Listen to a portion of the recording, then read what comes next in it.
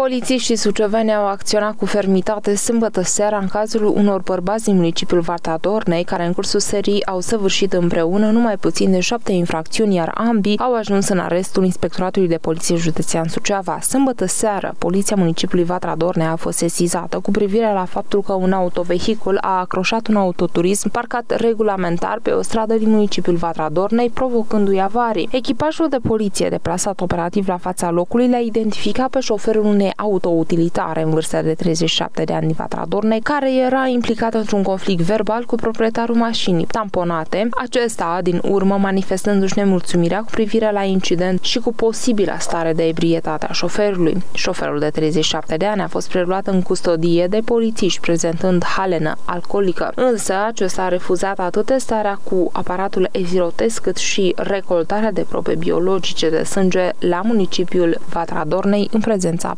personalului medical. După efectuarea verificărilor în bazele de date, s-a constatat că șoferul nu deține nici permis de conducere, astfel încât s-a întocmit dosar penal sub aspectul săvârșirii infracțiunilor de conducere fără permis, conducere sub influența băuturilor alcoolice și refuz recoltare probe biologice de sânge. Polițiștii au dispus reținerea pe baza ordonanței pentru 24 de ore a șoferului de 37 de ani, acesta fiind introdus în arestul Inspectoratului de Poliție Județean Suceava. Ulterior, Ulterior, în jurul orei 24, polițiști au fost sesizați că la autoutilitara condusă de bărbatul de 37 de ani, care era parcată pe o stradă în proximitatea producerii tamponării, se manifesta un incendiu. Întrucând din primele verificări s-a concluzionat că focul a fost generat intenționat prin folosirea unei substanțe inflamabile de aprindere, s-au dispus de îndată măsuri pentru identificarea autorilor. După corelarea datelor obținute investigativ de polițiști, în mai puțin de 3 ore s-a reușit identificarea autorului. Astfel, s-a stabilit că proprietarul mașinii tamponate avariate a relatat cele întâmplate către doi prieteni ai săi, unul dintre aceștia deplasându-se în zona și incendiind în mod intenționat autoutilitara care produsese incidentul. Bărbatul bănuit de comiterea faptei este un tânăr de 23 de ani din municipiul Vatra Dornei care s-a deplasat către locul faptei conducând la rândul său o mașină fără a avea permis de conducere. Tânărul de 23 de ani a fost identificat și luat în custodie de polițiști și având în vedere agitația psihomotorie a acestuia s-a încercat testarea cu aparatul etilotest, însă tânărul a refuzat. De asemenea, a refuzat și recoltarea probelor biologice de sânge la unitatea medicală. După administrarea materialelor probatori și față de tânărul de 23 de ani, polițiștii au dispus măsura preventivă a reținerii pentru 24 de ore sub aspectul săvârșirii infracțiunilor de distrugere prin incendiere, conducere fără permis, conducere sub influența alcoolului sau altor substanțe și refuz recoltarea are probe biologice și de sânge. Cercetări în acest caz sunt în continuare sub coordonarea procurorului din cadrul parchetului de pe lângă judecătoria Vatra Dornei, urmând a se stabili cu exactitate toate circumstanțele producerii evenimentelor și eventuala implicare sub un grad de vinovăție a altor persoane.